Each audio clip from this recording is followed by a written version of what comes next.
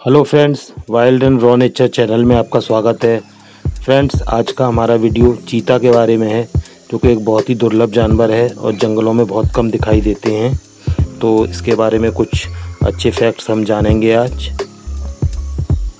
Friends एक समय ऐसा भी था जब भारत में बड़ी संख्या में चीते पाए जाते थे।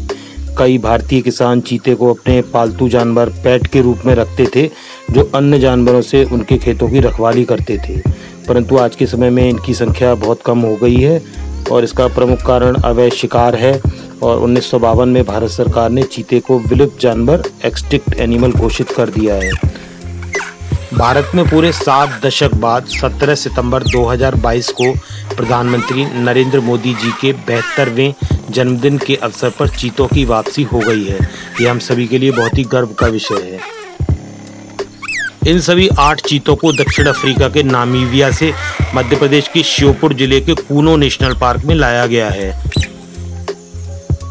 चीते के शरीर पर धब्बेदार निशान ही इसकी पहचान है। ऐसा माना जाता है कि चीता का नाम हिंदी शब्द चित्ती से लिया गया है, जिसका अर्थ होता है बहुरंगी शरीर वाला। एक फुली मैच्योर्ड चीता का वज़न 75 से 145 पाउंड के बीच होता है, जिसकी लंबाई चार फिट और कंधे तक की लंबाई दो से तीन फिट होती है। इनकी पूंछ आमतौर पर 30 इंच लंबी होती है और ये पेड़ों पर चढ़ने में बहुत ही माहिर हैं। आप देख सकते हैं चीता पेड़ पर चढ़ने की कोशिश कर रहा है और चीतों को काले धब्बों से ढके उनके नारंगी फर और ब्लैक टीयर्स, यानी काले आँसू होने के कारण चीता अफ्रीका के तेज धूप में भी लंबी दूरी तक साफ़ देख सकता है। और आप देख सकते हैं वीडियो में ये विल्ड बीस्ट के शिकार पर लगा हुआ है। और वैज्ञानिकों का मानना है कि चीते की आँखों के नीचे ये काले निशान एक उसके विशिष्ट पहचान है। और चीता पृथ्वी पर सबसे तेज़ दौड़ने वाला जानवर है। सत्तर मील प्रति घंटे की रफ्तार से ये दौड़ता है और तीन सेकंड में शून्य से साठ मील प्रति घंटे की रफ्तार को पकड़ सकता है। यह दौड़ते हुए घोड़े से दुगनी तेज़ी से दौड़ता है।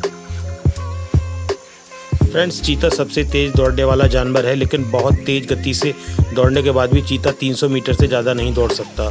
400 से 600 गज की दूरी के बाद चीता थक जाता है और उसे आराम की ज़रूरत होती है। चीतों की रीढ़ की हड्डी स्प्रिंग की तरह काम करती है।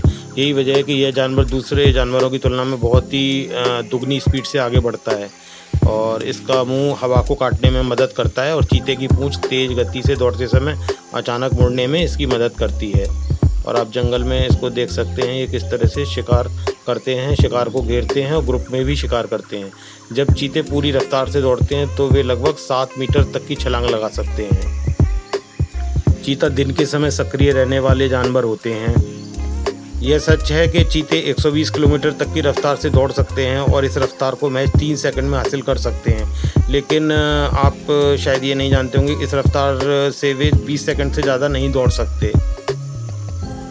वे दिन में धूप में शिकार करते हैं, क्योंकि अफ्रीका में ज़्यादातर जानवर रात के दौरान शिकार करते हैं, जबकि टेम्परेचर काफ़ी डाउन हो जाता है। लेकिन ये दिन में शिकार करने वाले जानवर हैं। अन्य अन्य अफ्रीकी बड़ी बिल्लियों और शिकारियों की तुलना में चीता बहुत ही कमज़ोर होता है जो आसानी से इन, इनका भोजन चुरा लेते हैं ये बड़ी बिल्लियाँ और दिन में इनके शिकार करने से इनके शिकार के खोने की संभावना कम हो जाती है। फ्रेंड्स चीते को ज़िंदा रहने के लिए बहुत ही कम पानी की ज़रूरत होती है और चीता हर तीन से चार दिन में पानी पीता है क्योंकि वह भोजन से कुछ पानी खुद ही सोख लेता है।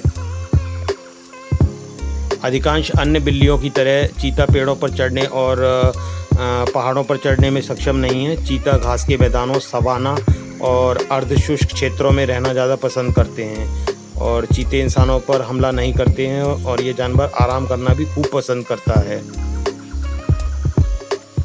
फीमेल चीता अकेले रहना पसंद करती है, जबकि मेल छोटे छोटे समूहों में रहते हैं, जो कि एक ही माँ बाप की संतान होते हैं, यानी कि वे आपस में भाई होते हैं।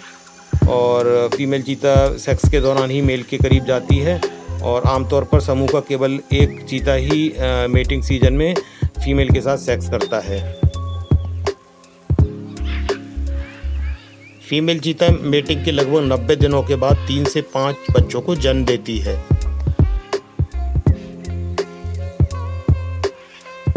चीता आमतौर पर ड्राई सीज़न के दौरान ही मेटिंग करते हैं। और इनकी फीमेल चीता की प्रेगनेंसी तीन महीने तक चलती है और गीले मौसम की शुरुआत में समाप्त होती है, जबकि खाद्य स्रोत बहुत ही समृद्ध हो जाते हैं और इनको खाना उपलब्ध हो जाता है। चीतों से पैदा होने वाले ज़्यादातर बच्चे जन्म के समय ही मर जाते हैं और एक रिसर्च से पता चला है कि चीते से पैदा हुए सौ बच्चों में से केवल पाँच ही वयस्क होने तक जीवित रहते हैं।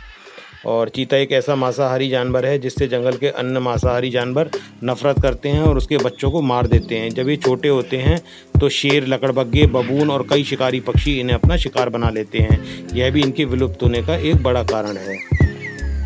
फीमेल चीता को एडल्ट होने में लगभग दो वर्ष लगते हैं, जबकि मेल चीता एक वर्ष के बाद एडल्ट हो जाते हैं। और ये एकमात्र ऐसी बिल्ली हैं जो दहाड़ नहीं सकते हैं, ये केवल गड़गड़ाहट और बिल्ली की तरह म्याऊं की आवाज़ ही करते हैं।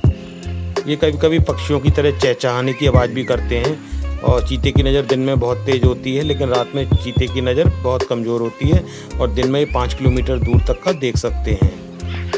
फ्रेंड्स, चीते की एज 12 ईयर्स होती है और जू में 17 ईयर्स तक होती है। तो फ्रेंड्स, कैसे लगे चीते के बारे में ये फैक्ट्स आपको? अगर अच्छे लगे हों तो वीडियो को लाइक कीजिएगा, कमेंट, शेयर कीजिएगा और मेरे चैनल को सब्सक्राइब कीजिएगा। मिलते हैं आपसे एक नए वीडियो में। जय हिंद।